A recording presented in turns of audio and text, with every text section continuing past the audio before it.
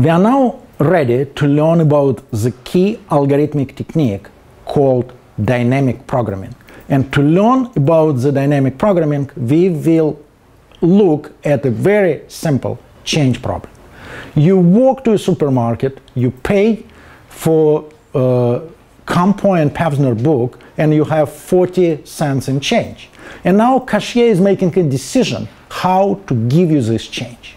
The cashier can give you a quarter, a dime, an extra 5 cents, and it will be 3 coins. But cashier also has a choice of giving you 40 pennies.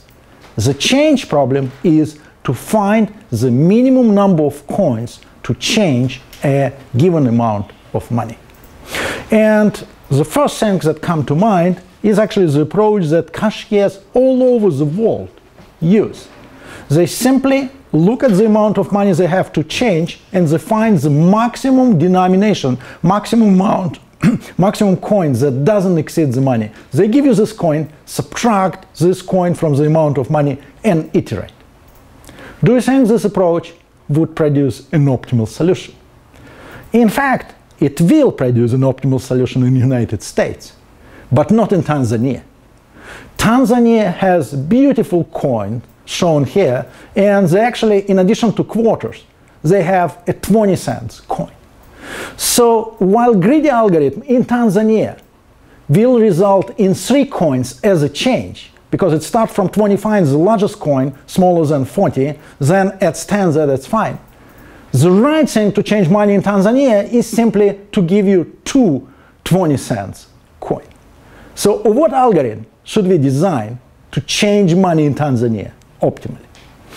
Let's design a recursive change algorithm. And let's imagine that we are in a strange country where there are only three coins, 6 cents, 5 cents, and 1 cent. How would we change 9 cents using this coin?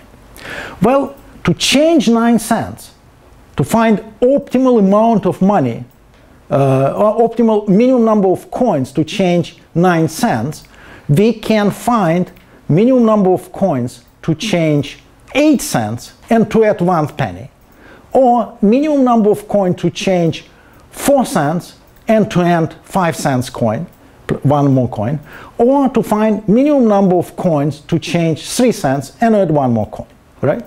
And therefore, minimum number of coins for 9 cents is minimum of minimum number of coins for uh, 8 4 or 3 cents plus 1. Make sense? Okay.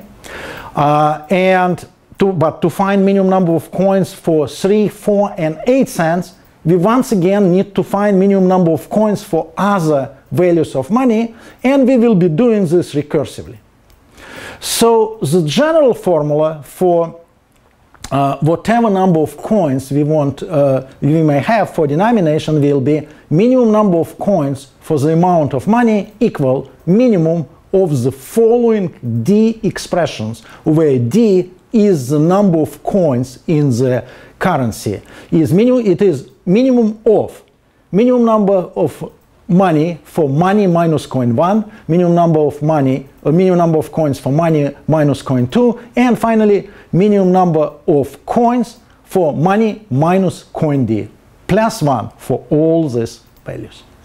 And there is a simple recursive change algorithm for that implements this approach. So every time we need to change the amount of coins equal money, we have d recursive calls and compute the minimum number of change for money minus coin i.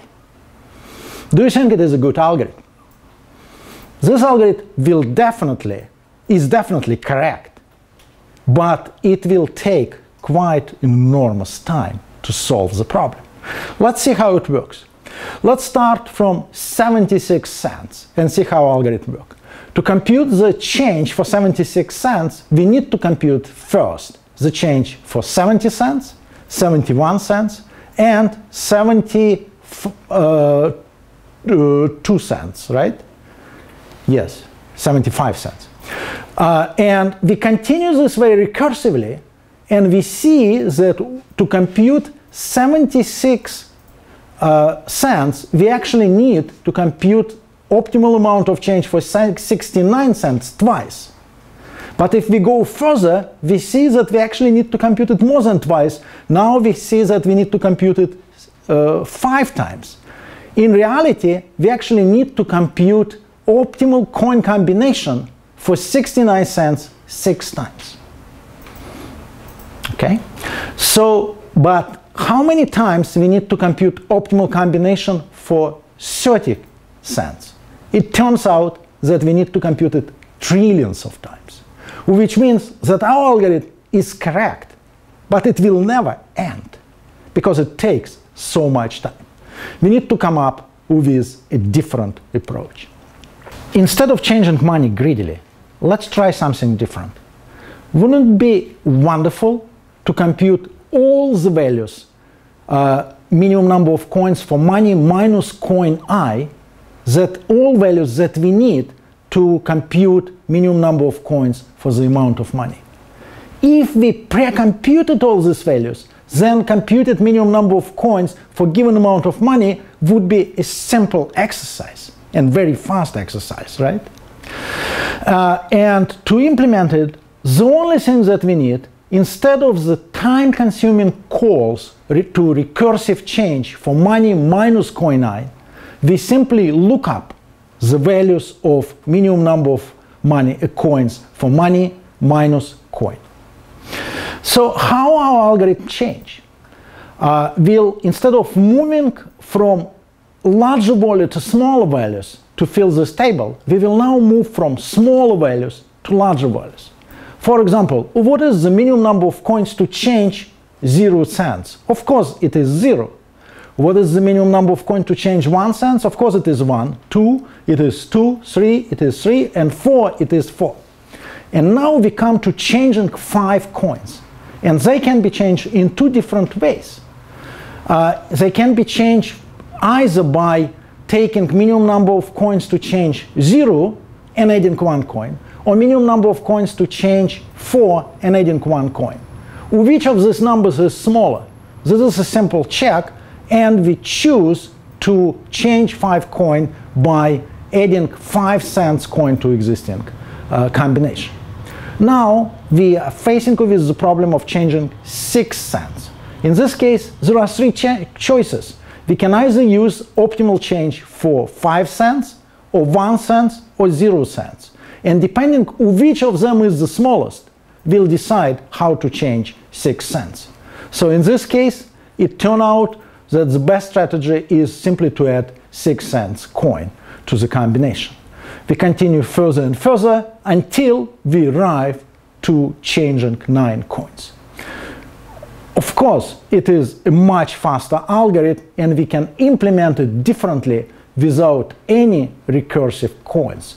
Simply at every stage to compute amount of money, we need to run d, uh, look at d previously computed values, where d is the number of denominations. That's all. That's the idea developed by Richard Bellman and called dynamic programming, which is arguably the most popular algorithmic technique today. Amazingly, 60 years ago, when Richard Bellman was developing this technique, it was absolutely unclear that this technique has any practical applications. In fact, Richard Bellman was working on a project for Air Force. And it turned out, some students sometimes ask you, where is programming in dynamic programming? It turned out there is no programming in dynamic programming because at that time his approach he seemed completely impractical. And he, he worked for Air Force, so he wanted to hide that he is really doing mathematics from the Secretary of Defense. He was a prominent mathematician by this time. This is a quote from Richard Bellman. What name could I choose? I want I was interested in planning, but planning is not a good word for various reasons. I decided, therefore, to use the word programming, and I wanted to get across the idea that this was dynamic. It was something not even a congressman could object to. So I use it as an umbrella for my activities. So amazingly enough, the most popular algorithmic technique today was invented as an umbrella for the non for mathematical activity while working on the Air Force project.